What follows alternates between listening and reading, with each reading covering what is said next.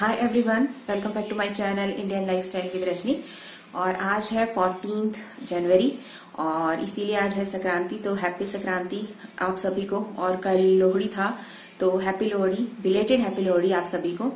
और, और हम लोग संक्रांत में क्या करते हैं जैसे कि हमारे हम लोग वेस्ट यूपी से हैं तो उस साइड जो वहाँ की जो फ़सल होती है वो मेन चावल ही होती है और उड़द वहाँ पर बहुत ज़्यादा उगाई जाती है।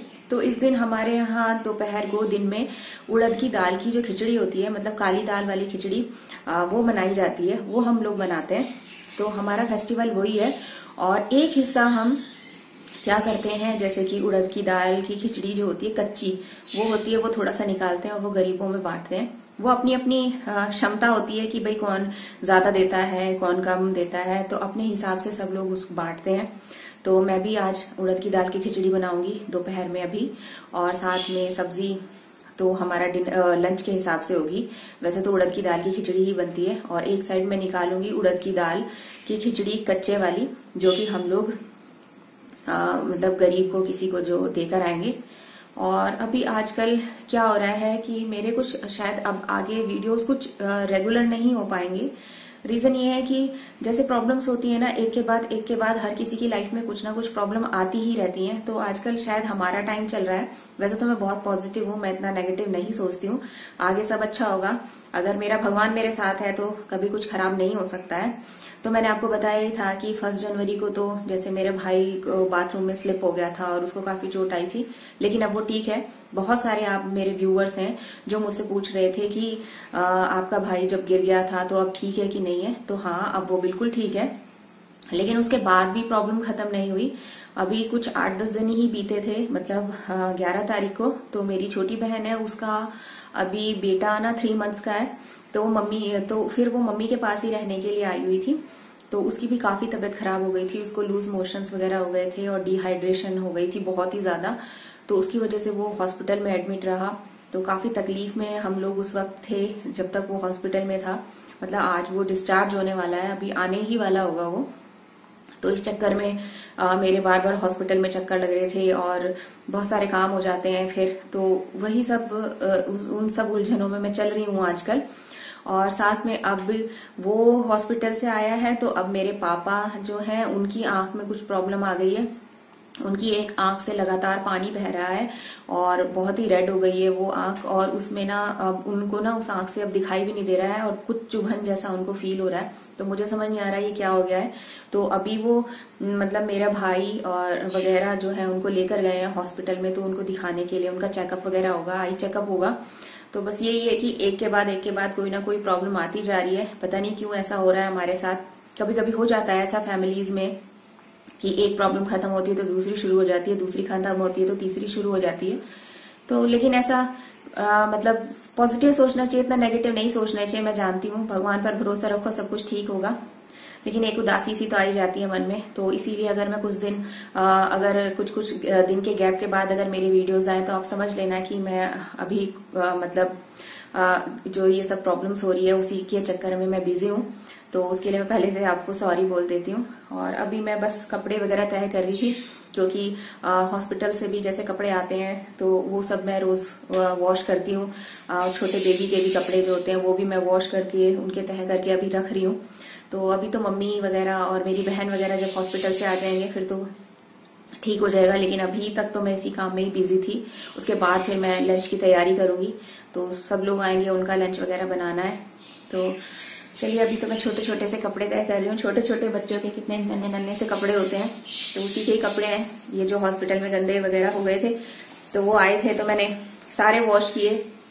और कितने मतलब बहुत दिनों बाद देखो इतने नन्हे नन्हे से कपड़े तो बहुत ही प्यारे लगते हैं, एकदम नन्हे से छोटे छोटे से ना, बच्चे कितने क्यूट होते हैं।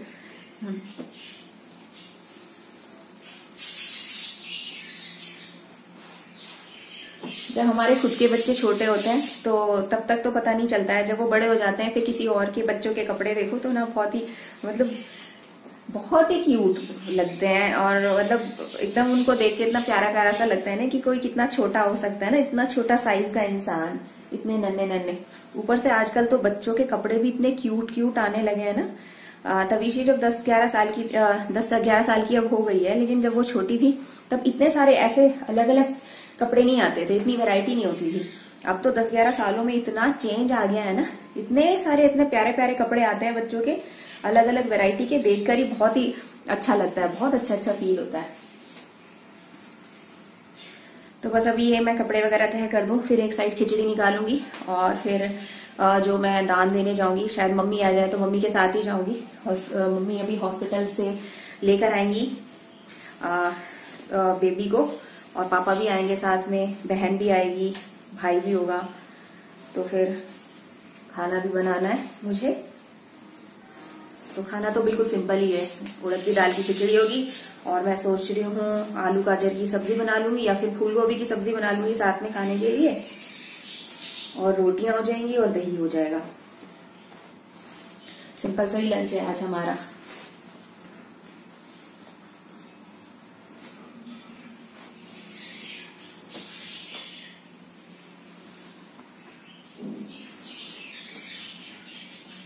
चलिए अभी मिलूँगी आपसे किचन में।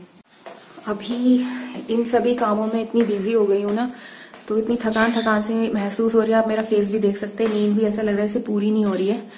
और अब बनाऊँगी खाना। अब जब तक सब कुछ ठीक नहीं हो जाता, शायद ऐसे ही लगेगा। तो कुछ ऐसा मेंटली भी होता है ना कि जब आसपास कुछ भी सही नहीं चल रहा होता है तो आ, हम दूसरे तरीके की थकान महसूस करते हैं। ऐसा नहीं है कि मैं प्रॉपर नींद नहीं ले रही हूँ। मैं ले रही हूँ लेकिन एक दिमाग वाली बात भी होती है ना तो शायद इसलिए मेरे फेस पर भी आपको बहुत थकान सी नज़र आ रही होगी। तो चलिए अभी मैं शुरू करती हूँ खाना बनाने का प्रोसेस और आपको दिखाऊँगी कि मैंने कैसे खिचड़ी निकाली है और मैं क्या खिचड़ी कैसे बनाती हूँ। खिचड़ी वैसे मैंने पहले भी रेसिपी शेयर कर रखी है मैं कैसे बनाती हूँ सिंपल ही होती है। तो अभी काम शुरू करते हैं चलो। तो यहाँ पर मैंने ये अपने बनाने के लिए निकाली है इस पतीले के अंदर खिचड़ी। तो मैंने थोड़े से चावल लिए हैं और उड़द की दाल इसके अंदर मिक्स कर ली है। तो जब मुझे बनाना होगा तो मैं ये दाल और चावल को अच्छे से धोकर इसकी खिचड़ी बना लूँगी।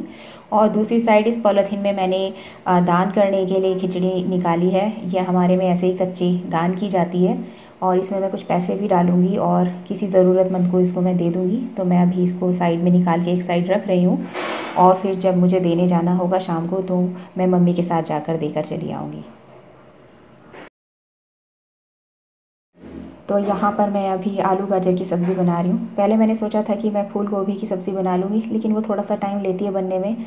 आलू गाजर बहुत ही जल्दी बन जाएगी, क्योंकि अभी मम्मी, पापा वगैरह सब जब आने वाले हैं तो मैं सोच हूँ कि उनके आने से पहले मैं ये सब बना दूँ और वो आएँ और ताकि फ़टाफट वो खाना खा सकें, क्योंकि काफ़ी टाइम हो गया है। तो जब तक वो आएँ तो मैं चाहती हूँ कि पूरा प्रॉपर खाना बना हुआ हो और बस मैं उन्हें गर्मा गर्म खाना परोस दूँ। तो बस तैयारी तो हो ही चुकी है, सब्ज़ियाँ वगैरह सब कट गई हैं, फटाफट बन जाएगा खाना, बहुत ज़्यादा टाइम नहीं लगेगा और वैसे भी आज साथ में खिचड़ी है तो ज़्यादा टाइम नहीं लगने वाला है।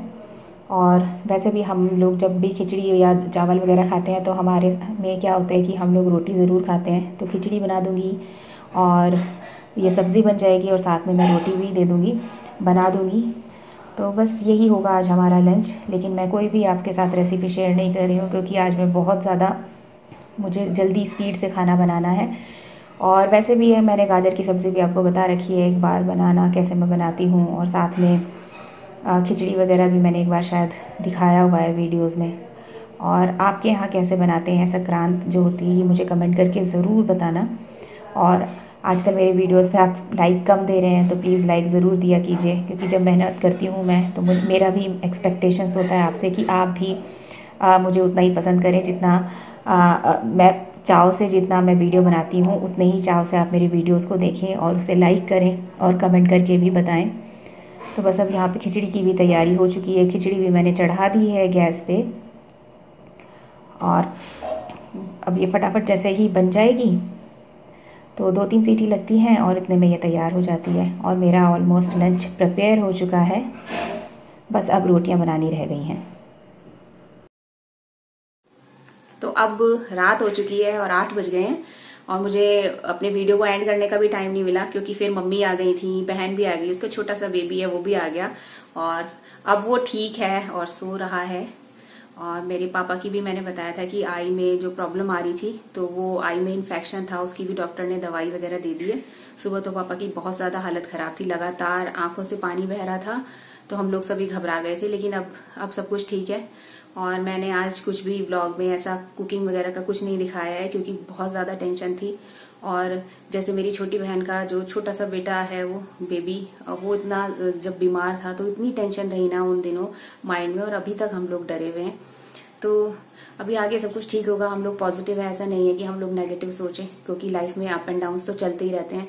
तो ऐसा नहीं है कि हमेशा ही सुख हो, कभी ना कभी हमें दुख को भी फेस करना पड़ता है। तो ये तो हिस्सा है हमारी लाइफ का। इसी को ही तो जीना बोलते हैं, ज़िंदगी जीना जो होता है। तभी तो अगर हम दुख नहीं फेस करेंगे तो हमें सुख का कैसे पता चलेगा? तो सुख की वैल्यू भी तो हम तभी कर सकते हैं ना जब हम थोड़ा सा दुख को फेस करें। तो बस यही एक छोटा सा ब्लॉग था और मम्मी आ जाएँगी। और कल मैं फिर अपनी मम्मी से भी आप लोगों की बात कराऊँगी। तो कल बहुत अच्छा लगेगा। आज तो अभी सब थके हुए हैं। मम्मी वगैरह, मम्मी अभी सामान लेने भी गई हुई हैं घर पर, थोड़ा बहुत सामान। तो बस यहीं पर एंड करती हूँ। और अगर पसंद आया ब्लॉग तो प्लीज़ इसे लाइक ज़रूर करना कमेंट करके भी बताना कि आप लोगों ने मकर संक्रांति कैसे सेलिब्रेट की और आपके यहाँ कैसे सेलिब्रेशन होता है मकर संक्रांति का। तो और अगर आप मेरे चैनल पर पहली बार आए हैं, मेरे वीडियोस आपको अच्छे लग रहे हैं, या फिर आपको मेरे वीडियोस अच्छे लगते हैं और आपने अभी तक मेरे चैनल को सब्सक्राइब नहीं किया है तो मेरे चैनल को आप सब्सक्राइब भी ज़रूर कीजिएगा। बस फिर मिलूँगी आपको जल्दी नेक्स्ट वीडियो में, तब तक के लिए बाय